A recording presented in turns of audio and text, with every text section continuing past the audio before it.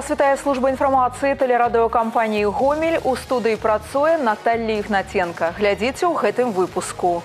Адзін няправільны клік можа дорага каштаваць. Як супрацьстаяць кіберзлачыннасці абмяркоўвалі сёння ўдзельнікі каардынацыйнай нарады. Меркаванні і прапановы дэлегат шостага ўсебеларускага народнага сходу Людміла Шымбалёва сустрэлася з нашымі карэспандэнтамі.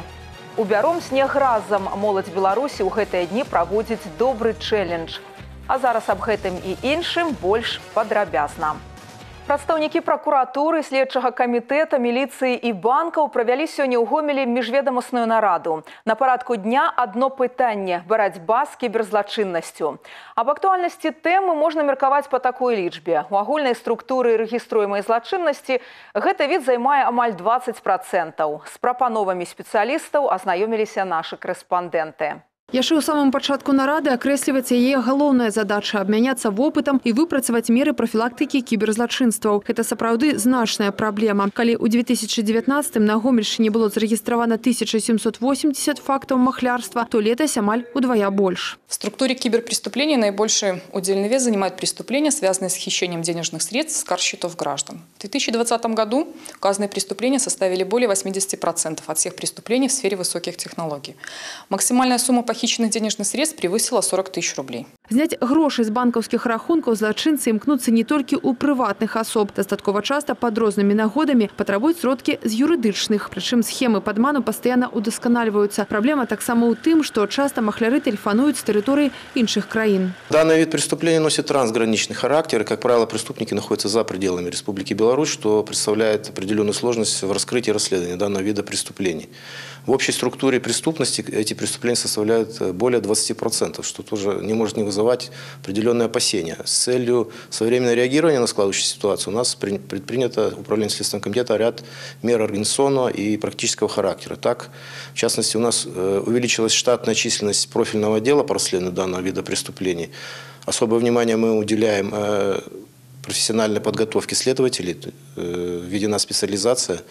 Ну и основной, на мой взгляд, э, способ предотвращения и нивелирования последствий – это профилактика, поскольку, как я уже говорил, это преступление носит трансграничный характер, то проще предупредить, чем э, расследовать и передавать дело в суд. Аб неабходнасці ўзмацнення прафілактычных мер і пашырэння метадаў работы з насельніцтвам казалі ўсе ўдзельнікі міжведамаснай нарады. Сярод прапаноў стварэння сацыяльных ролікаў для трансляцыі па тэлебачанні і ўзмацнення інфармацыйна-тлумачальнай работы на прадпрыемствах і ў навучальных установах. У тым ліку праз удасканальванне адукацыйнага працэсу. Пакуль тэма супрацьстаяння кіберзлачыннасці ў ім адсутнічае. Апрача таго, банкам прапанавана зрабіць бясплатна і абавязковай для ўсіх карыстальнікаў такую паслугу, як смс-апавяшчэнне аб зняцці сродкаў з рахунку рахункаў. Асобная размова ўнясення змянення ў заканадаўства. Адпаведныя рэкамендацыі зараз выпрацоўваюцца. Гэта дазволіць больш аператыўна рэагаваць на пагрозы. Хоць і самі грамадзяне не павінны страчваць пільнасць. Лексенцюро Марина Севрянова, Валерый Гапанько, тэлерадыёкампанія Гомель. Умацаванне культурнага фундаменту краіны павінна стаць адным з накірункаў развіцця Беларусі на бліжэйшую пяцігодку. У гэтым упэўнена Людміла Шымбалёва, дырэктар карціннай галерэі Гаўрыла Вашчанкі. Яна будзе прадстаўляць інтарэсы супрацоўнікаў сферы культуры на шостым усебеларускім сходзе. Падрабязнасцямі валодае Ганна Каральчук.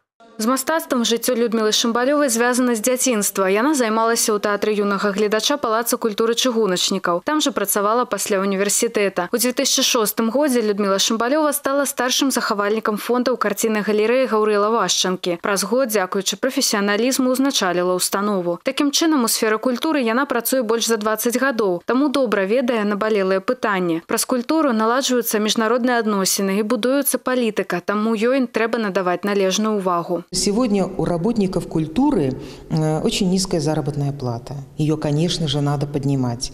Э, в области 9043 единомышленника, которые работают за идею, да, а не зарплату. И поэтому, конечно, этот творческий потенциал, этот наш генетический код нации надо, конечно, совершенствовать. Э, я бы хотела сказать сегодня поднимать такой очень важный один вопрос и проблему, как предмет отечественного отечественная мировая художественная культура. Посмотрите, ведь в, в системе образования всего 45 минут, и дается он только шестого класса. На працягу апошніх трох гадоў карцінная галерэя Гаўрыла Вашчынкі становіцца лепшай установай культуры Гомеля. За год тут праходзіць больш за 40 мерапрыемстваў, якія наведвае каля 50 тысяч чалавек. І гаворка ідзе не толькі аб экспазіцыях вядомых мастакоў. Тут даюць шанс маладым і падтрымліваюць пачынаючых майстроў. Людмила Михайловна Шимбалева – это тот человек, который дает очень хороший старт для выпускников Гомельского художественного колледжа. Ежегодно 1 сентября на базе галереи Ващенко открывается выставка творческих работ дипломников. И в этом году это было не исключение. У нас э, есть огромное количество каких-то совместных проектов, среди которых проведение мастер-классов, э, проведение каких-то совместных выставок э, в рамках праздников, организуемых в городе. И, в принципе, Людмила Михайловна – это, наверное, тот человек, который продвигает творчество современной молодежи на территории Республики Беларусь. У 2020-м Людмила Шымбалёва была ўдастоена ганаровай узнагароды медаля Францыска Скарыны. У 2017 годзе яна была прызнана жанчынай года Беларусі ў намінацыі духоўнасці культура. Дарэчы, грамадская дзейнасць заўсёды была важнай часткай яе жыцця. Людмила Шымбалёва таксама узначальвае цэнтральную раённую арганізацыю гомеля беларускага саюза жанчын. Ганна Краячук, Сергей Камкоў, Яўген Макенка, тэлерадыокампанія Гомель. Сёння ў краіне праходзяць мерапрыемствы ў падтрымку дэлегатаў шостага ўсебеларускага народнага сходу, якія ўжо заўтра адправяцца ў сталіцу на рэспубліканскі форум. Так, напрыклад, у вёсцы баравая буда кармянскага раёна мясцовыя жыхары з цёплымі словамі звярнуліся да ігара радзюка, трактарыста машыніста Саўхаса Богдановичы. З ім пагутарылі і нашы карэспандэнты. У сельскай гаспадарцы Ігор Радзюк працуе больш за 20 гадоў. Пачынаў вадзіцелем, потым перасеў за камбайн. Неаднаразова па выніках раённых спаборніцтваў ён быў прызнаны лепшым па прафесіі, а яго імя не сыходзіць з дошкі гонару пры падвядзенні вынікаў палявых работ. Сярод калег карыстаецца заслужаным аўтарытэтам за сваёй працавітасці і адказнасці. Я его знаю очень давно, уже лет 20. Там мой друг, и мы работаем уже очень давно. Отзывчивый, трудолюбивый. Вообще все выполняю положено. Я горжусь. И вообще весь коллектив гордится, что он едет на все белорусское собрание. И что представляет сельское хозяйство там. Мы это рады и весь коллектив его поддерживает. Игорь Радюк не только один из лепших работников сельской господарки у районе, але и громадянин с активной позицией. И он неабыяковый до становішча Украине и до развития сельской глыбинки. И он народился и вырос на Кармяншине у шматдетной семьи. Тут же застался жить и працаваць. Игорь Радюк закликая молодь не покидать родные мясцины, а отраджать малые населенные пункты. Коллектив у нас, ну, механизаторов хороший, работаем слаженно, э, один одному помогаем, во всех вопросах помогаем. Э, наше начальство нас поддерживает. Призываю всех, особенно молодежь, приезжайте, всех мы ждем, рабочих мест хватит всем. Абранне делегатам на ўсебеларускі народны сход Ігор Радзюк лічыць для сябе вялікім гонарам і ўдзячны за давер з боку калег і аднавяскоўцаў. Мясцовыя жыхары ўпэўнены, працавіты і ўсебакова развіты чалавек, здольны прадставіць інтарэсы сельскагаспадарчага района на таким масштабном мероприемстве. Это действительно достойный кандидат, который будет представлять наш сельскохозяйственный регион на таком большом, важном, значимом мероприятии для нашей страны. Игорь Валерьевич всегда впереди. Он передовик производства и на заготовке кормов, и на уборке урожая. Конечно, сегодня самое важное, наверное, для напутствия и слова напутствия – это развитие престижа жизни на селе, закрепление здесь молодых специалистов, улучшение их жилищных условий, предоставление им жилья, улучшение условий труда молодых специалистов. Поэтому ну, вот это главный посыл сегодня Игоря Валерьевича на Всебелорусском народном собрании. Завтра делегаты 6-го Всебелорусского народного сходу отправятся у Минск. Ганна Каральчук, Дмитрий Котов, Евген Макеенко, телерадиокомпания «Гомель», Кармянский район. Адзінства, развіццё, незалежнасць. Беларускі рэспубліканскі саюз моладзі правёў адкрыты онлайн-дыалог. Дыскусійная пляцоўка аб'яднала звыш 20 будучых дэлегатаў шостага ўсебеларускага народнага сходу. У віртуальнай сустрэчы прымалі ўдзел прадстаўнікі ўсіх рэгіёнаў краіны. Мерапрыемства пачалося з сумеснага выканання гімна, пасля чаго ўдзельнікі атрымалі падарункі ў межах рэспубліканскага праекта БРСМ родная народная. Маладым людзям уручылі дзяржаўныя сцягі. Затым пачалася асноўная частка дыалогу. Удзельнікі абмеркавалі праект праграмы сацыяльна-эканамічнага развіцця Беларусі на бліжэйшыя 5 гадоў. У асноўным, што тычыцца маладзёжнай палітыкі. Асноўныя накірункі, даступнасць жылля, дастойныя ўмовы працы, магчымасці для самарэалізацыі. Дэлегат ад Добружскага района Анастасія Гатальская рыхтуе свае прапановы. Начинать нужно с наших деток, конечно же, тем более как молодая мама. Э, было у меня предложение в курс ОБЖ, то есть основы безопасной жизнедеятельности, ввести детям э, информационную грамотность, как нужно воспринимать информацию, что ее нужно изучать, что ее нужно анализировать, что ее нужно сравнивать в разных источниках. И, и этот источник, который читают дети, например, или смотрят, всегда задавать себе вопросом, вопрос себе задавать, э, для чего и для кого работает этот источник, в каких интересах. У нацыянальным форуме прымуць удзел 140 прадстаўнікоў беларускага рэспубліканскага саюза моладзі з усёй краіны. Працягваем выпуск. У мінулым годзе на гомельшчыне перавыканалі заданні па забеспячэнні насельніцтва чыстай пітной вадой. Яна прыйшла ў 58 гарадоў і вёсак. Дзяржаўная праграма камфортнае жыллё разлічана на перыяд да 2025 года. Для гомельскай вобласці яе рэалізацыя з'яўляецца асабліва актуальнай. За выключэннем асобных тэрыторый добружскага района уся пітная вада ў рэгіёне утрымлівае звышнарматыўную колькасць жалеза. Пры гэтым пры будаўніцтве адпаведнай інфраструктуры перавага аддаецца перспектыўным населеным пунктам. В прошлом году мы изначально планировали 50 станций. Вот. По концу года 58 населенных пунктов мы обеспечили, соответственно, чистой питьевой водой. 54 э, станции без железания построили. В двух населенных пунктах мы вот Добржского района пробурили скважины. И в них вода соответствует питьевому качеству, и не надо строить станции без железания. И два населенных пункта мы подключили к существующим системам централизованным с качественным питьевым водоснабжением. Поэтому 58 всего населенных пунктов получило, соответственно, чистую воду. Гомель зноў замяло. Прырода стварае сапраўдную зімовую казку, але разам з тым робіць і шкоду. На асобных участках дарог пад снегам лёд, таму хадзіць трэба вельмі абачліва. Аўтамабілістам таксама складана. Снежныя сумёты звужаюць праезную частку, а раздзяляльных палос не бачна. Сёння на дарогі выйшла ў паўтара разы больш спецтэхнікі, чым звычайна. Амаль чатыры дзесяткі дарожных машын, трактараў і грэйдараў змагаюцца з наступствамі лютаўскага надвор'я. І такім яно, папярэджваюць сіноптыкі, захаваецца як мінімум да канца тыдня. Начная тэмпература будзе апускацца да 15 градусаў ніжэй за нуль, дзённая вагацца ад мінус з 7 до 14. А ў пятніцу да мяцеляў і марозу добавіцца парывісты ветер. Узмацнілі прафілактычную работу на перыяд неспрыяльных кліматычных умоў і супрацоўнікі дзяржаўтаінспекцыі. На тэрыторыі рэгіёна дзейнічае спецыяльны план надвор'я. В рамках данного плана сотрудники госавтоинспекции с самого утра осуществляют мониторинг улиц, автодорог, как местного, так и республиканского значения на предмет состояния проезжей части. А также сотрудники ГАИ а, осуществляют а, координацию дорожных, коммунальных служб по содержанию улично-дорожной сети в зимний период. А, госавтоинспекция призывает всех автолюбителей сообщать информацию о состоянии автодорог в специальные службы по короткому республиканскому номеру 125.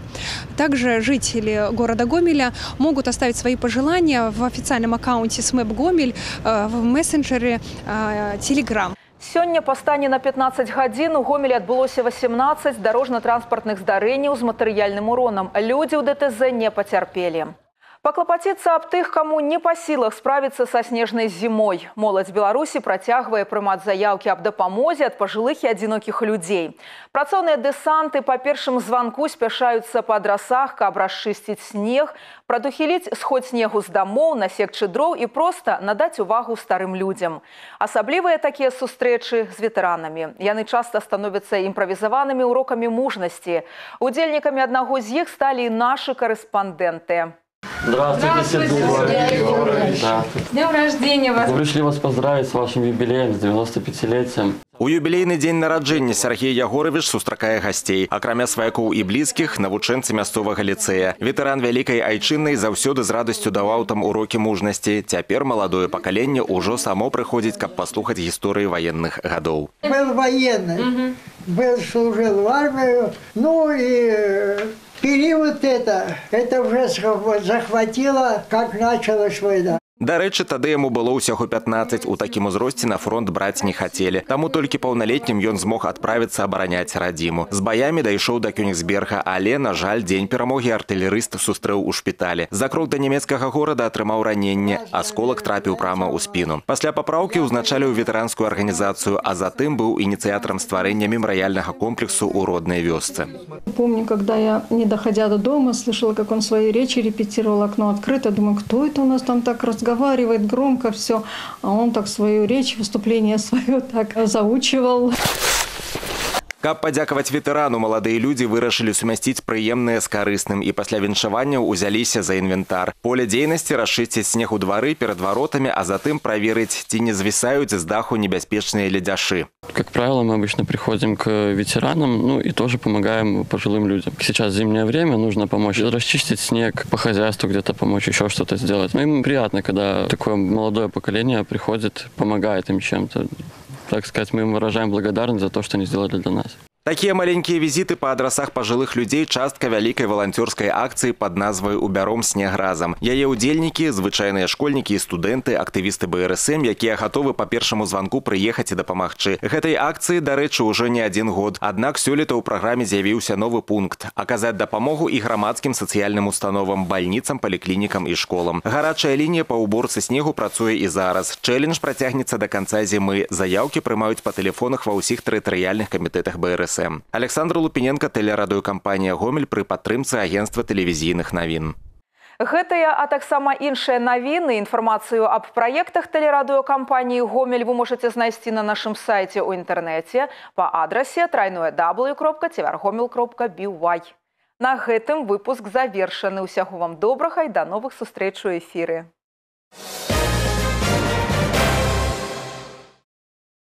Де-факто на телеканале «Беларусь-4» в студии Александр Гамоля. Здравствуйте. Собрал гербарий и стал фигурантом уголовного дела. В Жлобине сотрудники наркоконтроля нашли у местного жителя марихуану. Высушенные стебли и листья конопли мужчина хранил в квартире и гараже. Все находилось в открытом доступе. В ходе обыска тайников не обнаружено. Изъято более килограмма марихуаны. Поменялись ролями. В Рогачевском районе жена подозревается в истязании мужа. В уголовной практике случаи редкие, особенно если учесть, что подозреваемая три раза привлекалась к административной ответственности по заявлению супруга. Дважды женщина попадала в милицию за нанесение побоев своему суженому. Еще один визит в отделение у нее был за причинение любимому психических страданий. В конце января мужчина не выдержал и снова сообщил о рукоприкладстве супруги. Таким образом, за крутой нрав и агрессивное поведение женщина четыре раза держала ответ перед законом. Чем ее постоянно злил муж, не сообщается. По факту истязания против 42-летней белорусски возбуждено уголовное дело. Гомельские спасатели смогли вытащить из поврежденной фуры заблокированного водителя. Мужчина получил травмы и нуждался в помощи. Накануне вечером большой груз съехал в кювет на трассе М8 недалеко от Новой Гуты. Как сообщили в ГАИ, в пути следования водителю стало плохо. Он потерял сознание и, как следствие, контроль над машиной. Она сошла с трассы и опрокинулась. Сильно пострадала кабина фуры. Покинуть ее самостоятельно водитель не мог. На помощь пришли спасатели. Они воспользовались стеклорезом и извлекли пострадавшего. Мужчина был госпитализирован. ГАИ просит водителей в условиях метели и снегопада воздержаться от дальних поездок. Морозы окрепли, пожары стали происходить чаще. За минувшие сутки в Гомельской области было шесть возгораний. По итогу одного из них погиб человек. Пожар унес жизнь пенсионера из деревни Боровики Светлогорского района. Накануне утром мужчина пошел в котельную разжигать отопительный котел и получил ожоги. Обгоревшее тело мужчины обнаружила сожительница. Женщина забеспокоилась, что его долго нет дома. По факту смерти 64-летнего мужчины следствие проводит проверку. Усматривается неосторожность с огнем. Снова жлобе на этот раз топ-менеджеры салона связи при помощи милиции смогли вывести на чистую воду продавца-консультанта. Женщина украла два телефона известных китайских брендов последних моделей. Оперативникам АБЭП удалось установить, что к краже причастна 32-летняя работница салона. Не стеснялась и женщина подворовывать и наличность. Магазину оператора сотовой связи был причинен ущерб на сумму свыше 2400 белорусских рублей. Возбуждено уголовное дело, ущерб частично возмещен. Поиски мужчин, провалившихся под лед в Петриковском районе, временно приостановлены. Это обусловлено усилением морозной погоды. Из-за низких температур реку снова стало сковывать льдом, причем значительно уменьшилось время замерзания майн, которое спасатели вырезают, чтобы спустить водолазов на глубину. К тому же вести работы в таких условиях небезопасно. Как сообщили в Гомельской областной организации «Освод», поиски могут быть продолжены, но для этого нужно дождаться подходящих погодных условий. Сотрудники отдела внутренних дел администрации Центрального района Гомеля устанавливают личность мужчины, который может быть причастен к повреждению одного из административных зданий города. Сообщается, что на улице Интернациональной этот человек, по данным правоохранителей, разбил окно. Инцидент произошел около 4 утра 30 января. Если вы узнали мужчину по одежде или располагаете на этот счет какой-либо информацией, просьба сообщить по телефонам, указанным на экране. Это все новости выпуска. Я Александр Гамоля. Благодарю за внимание. До свидания.